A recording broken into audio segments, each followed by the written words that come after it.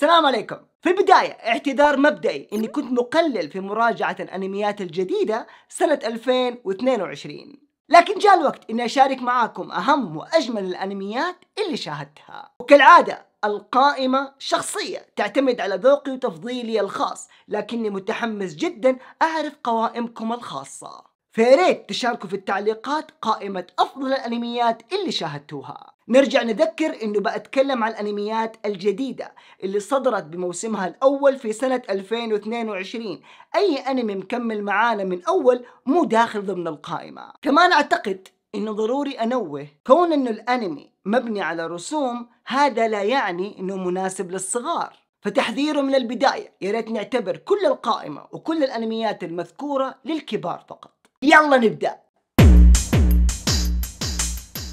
هذا الأنمي بيتكلم عن قصة في عالم مستقبلي. في هذا العالم ينتشر طاعون جديد يسمى بالصدى لكن هذا الطاعون وهذا الصدى مو بس يصيب الأشياء الحديدية من المباني وغيرها يصيب حتى الإنسان. فهذا الشيء يؤدي إلى كارثة عالمية. وفي وسط هذا العالم عندنا شخصية مصنفينها السلطات كإرهابي. في نفس الوقت هذه الشخصية وهذا الإرهابي بيحاول يبحث عن علاج لهذا الداء وهذا الطاعون وهذا الدمار.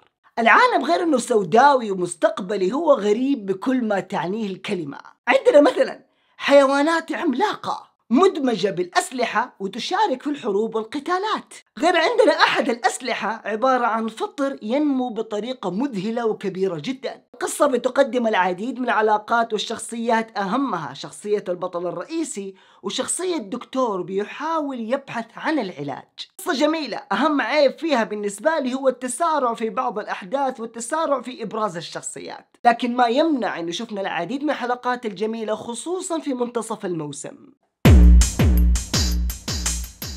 بديت هذا الانمي وأنا ما عندي شك ولا واحد في المية إني حأقفله بعد خمسة دقائق. لكن مع الوقت صار رفيق يومي. صرت خايف إني أنهي الحلقات. صرت أخليه للفترات اللي فيها هدوء في بعض الأيام.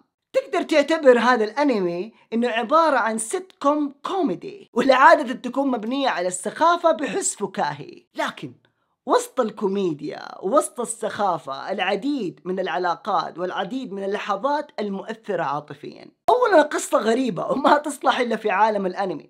عن طفل عمره أربع سنوات عايش لحاله. والطفل على الرغم أنه عمره صغير لكن أسلوب حياته وتصرفاته كأنه إنسان ناضج وبالغ.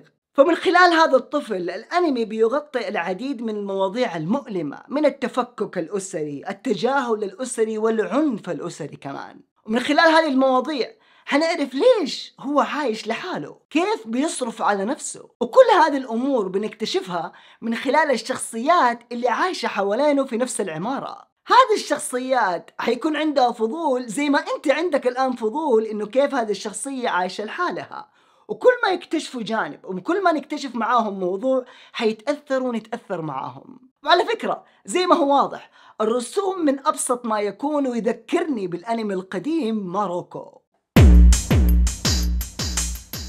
الأنمي هذا فريد من نوعه بمعنى الكلمة بيدمج العديد من العوامل الرهيبة قصة في حقبة زمنية قديمة. مع عامل من الغموض والتشويق والعديد من الألغاز في القصة. إضافة لقدرات خارقة وخارجة عن الطبيعة مدمجة بقصص شعبية وفلكلور من الصين.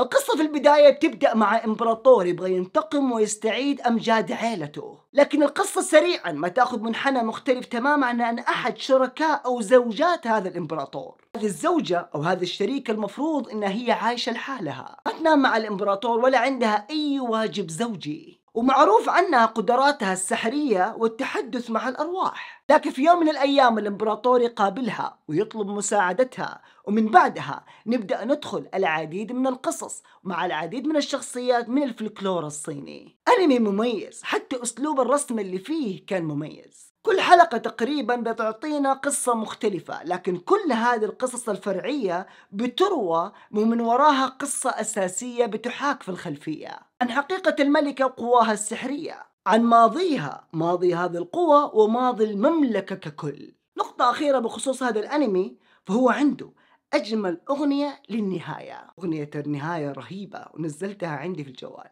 أعطوه فرصة شيء جميل للتغيير.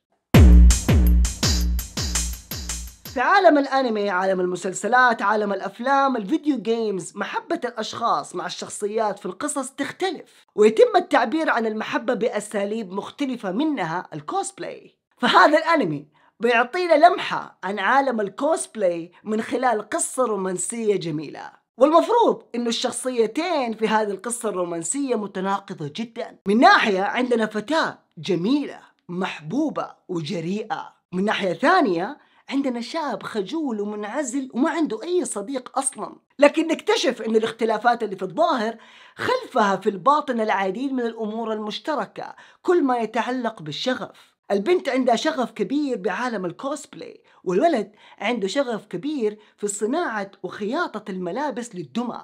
أنا ما أعرف كيف بديت هذا الأنمي أصلاً. وما أعرف كيف فجأة لقيت نفسي في الحلقة السابعة. العديد من اللقطات اللي عدتني أدتني إحساس غير مريح وحسيت بالكثير من أحاسيس ال cringe وخفت إنه أي أحد ممكن يدخل علي وأنا أتفرج في العديد من اللحظات لأن الكوميديا والرومانسية اللي بيقدموها للبالغين وفيها العديد من ترجمة أحاسيس المراهقين. لكن في نفس الوقت وبعيدا عن هذا الشيء حبيت العديد من الأمور في القصة. كيف إنه محبتك لشيء حتوصلك للإبداع مهما كان هذا الشيء سخيف عند الآخرين؟ وكيف إنه شيء جميل تلاقي اللي يقدر إبداعك؟ حبيت كمان فكرة كيف إنه الشغف ممكن يربط ناس من خلفيات مختلفة. ناس بشخصيات مختلفة يجمعهم حب الشيء الواحد. هذا الأنمي من أحد الأسباب اللي ذكرت فيها التحذير في البداية، الأنمي للكبار بيبين العلاقة بين الشخصيات اللي ما زالت مراهقة وتعبير عن الأحاسيس اللي بتصدر بينهم. من المفاجآت الممتعة هذه السنة، انه كمان أكثر أنمي حصل على ضجة إعلامية خصوصا في بداية السنة، قصة جمعت بين الكوميديا والدراما والأكشن في قصة ممتعة. قصة أعطتنا علاقة غريبة. بين بنت صغيرة يتيمة قادرة على قراءة الأفكار مع جاسوس وقاتلة متسلسلة. هذه الشخصيات الثلاثة جمعتهم ظروف معينة لتكوين عائلة. ما حد فيهم يعرف الحقيقة عن الآخر وكل شخص عنده سبب مهم للبقاء داخل هذه العائلة وتمثيل كونهم عائلة. فوسط هذا الجو العائلي العديد من المهمات القتالية والجاسوسية وكمان المدرسية. ما أقدر أوصف هذا العمل غير بممتع. من الناحية الجمالية مثلا كل شيء فيه كان perfect الرسوم والتحريك والجو العام كان ملفت جدا من أجمل الأنميات من هذه الناحية. من ناحية القصة أعطتنا وزنية رهيبة للكوميديا مع التشويق والإثارة. بس يظل أهم سبب لمتابعة هذا الأنمي هي آنيا.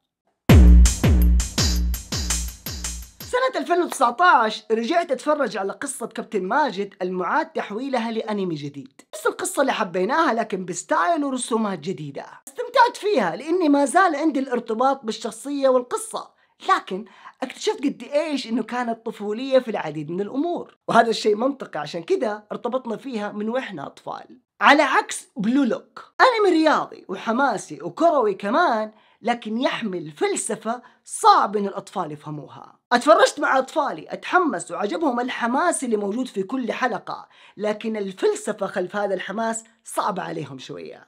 القصة ببساطة عن أكاديمية في اليابان تبحث عن إيجاد المهاجم الأفضل. على عكس القصص الرياضية اللي تحبذ دائما الروح الجماعية وروح الفريق هذه القصة وهذه الأكاديمية بتبحث عن الأنانية. القصة عن هذه الأكاديمية اللي بتوزع الأشخاص لفرق معينة لكن مو الغرض فوز الفريق الغرض تجميع النقاط من خلال مهمات لكل لاعب. فكيف حتكون جزء من الفريق؟ تبي تفوز نفسك وفي نفس الوقت لازم الفريق يفوز. استفزني في كل مرة إني أكون عارف بالضبط إيش اللي حيصير. أكون عارف تماما اللحظة اللي حتنقلب فيها الأحداث. مع كذا الحماس دائما كان عالي. هذا الشيء اللي خلى حتى أطفالي يستمتعوا بالمشاهدة. لكن اللي حبيته جدا هي الفلسفة اللي بيحاول يوصلها التلاعب بالقرارات النفسية والعقلية أثناء اللعب. يمكن معطيه أكثر من حجمه من هذا الجانب لكن ما زالت القراءة عندي فلسفيا عالية وأتمنى يكمل المواسم المستقبلية بنفس النهج. من ناحية الرسوم في عدة مشاهد في هذا الأنمي كانت الأجمل خلال السنة ككل. هذا هو الأنمي الوحيد اللي صدف إنه أنمي جديد وعملت له مراجعة مستقلة في القناة هذه السنة. الأنمي مبني على عالم تم تقديمه في الفيديو جيم لكن معرفتك بالفيديو جيم معرفتك باللعبة من عدمها ما يفرق أبدا لمشاهدة الأنمي. قصة عن عالم مستقبلي عالم سوداوي عالم البشر يقدروا يطوروا من نفسهم يطوروا من أعضائهم ومن أطرافهم بدمجها بآلات. قصة انتقام في عالم مستقبلي مليان فلسفة ممتعة ومؤسفة. القصة عن شاب يرجع في يوم من الأيام للجزيرة اللي كان متربي فيها عشان يحضر العزاء لصديقته المقربة واللي هي كمان أخته بالتبني. لكن وسط العزاء وأجواء الحزن يكتشف بعض الأمور الغريبة. أشياء تخليه يشكك إنه صديقته ماتت بالصدفة أو ماتت بأمر طبيعي. ويخليه كمان يشك إنه في جريمة في الموضوع. هذا الشيء يخليه يبدأ يسأل العديد من الأشخاص ويزور العديد من الأماكن إلين ما نوصل للحظة جوهرية جدا أقرب الشخصيات إليه توجه المسدس عليه وتقتله لكن بعد ما ينقتل يستيقظ ويرجع يعيد الأحداث من جديد إيش اللي صار؟ هل كان يحلم؟ هل اللي صار معاه نوع من أنواع الانتقال بالزمن؟ وليش هو دونا عن البقية؟ إيش هي حقيقة أسطورة الظلال اللي بنسمع عنها في بداية الحلقة الأولى؟ 24 حلقة مليانة بالأشياء الصادمة مليانة تويستات مليانة أحداث وشخصيات. فيها عيوب بس لو تديني 24 حلقة وتقفل القصة برافو. قبل ما نتكلم عن أي شيء له علاقة بالقصة أبغى أقول إنه هذا الأنمي قدم أفضل أنيميشن هذه السنة. وأثبت إنه 3D وال CGI له مكان في الأنمي حتى لو كان قتالي المهم إنه يتم الاستخدام صح. هذا الأنمي كمان قدم أفضل مقدمة موسيقية أدمنت المقدمة الموسيقية وما يكفيني أسمعها أحب إني أشوفها. المقدم بالنسبة لي أفضل حلقة لأنمي جديد هذه السنة وهي الحلقة الثامنة. القصة عن عالم فريد من نوعه عالم فيه البشر عايشين مع الشياطين والشياطين عندهم أشكال وصفات وفئات مختلفة. بطبيعة الحال عندنا فرقة تقاتل هذه الشياطين وفي وسط هذا كله عندنا فتى معدم. وصل من العدم إنه يبيع اعضائه عشان يعيش ويسدد مصاريفه ودين أبوه. في يوم من الأيام ينغدر فيه لكن تكون فرصة للتحول لشخصية شيطانية. بعدها ينضم لأحد الفرق اللي بتقاتل الشياطين. حبيت هذا العالم الجديد اللي بيحاول يقدمه الأنمي.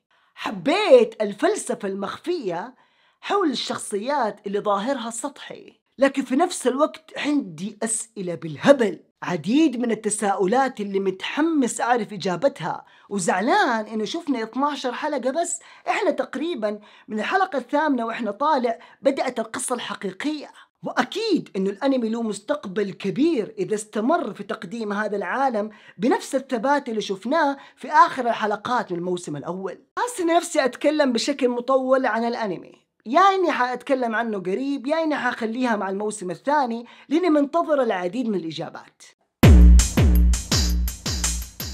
أنا مفتون بحقيقة إنه البشر مختلفين بحقيقة إنه صفات البشر تختلف من شخص إلى شخص آخر. كيف على أقل تقدير يكون عندك قسمين من البشر انطوائيين واجتماعيين؟ كيف إنه هذا التقسيم السطحي برضو مو صحيح وفي عندنا كثير من النقاط في المنتصف بين الفئتين. من أكثر الكتب اللي أثرت على مفهومي للحياة ككل وعلى نظرتي للعديد من الشخصيات ونظرتي لقراءة أي مكان أدخل فيه هو كتاب جميل جدا اسمه Quiet لسوزان كين واللي بتشرح فيه باسترسال الشخصيات الانطوائية ال introverts. من بعد هذا الكتاب بديت أشوف العالم بطريقة مختلفة يا أخوان. بديت انتبه لأي درجة فعلا إنه غالبا إحنا بننتبه للناس اللي أصواتهم عالية. غالبا بننتبه للأشخاص الحركيين والاجتماعيين. لكن لو زودنا انتباهنا ودققنا في المكان اللي إحنا فيه حنلاقي كمان إنه غالبا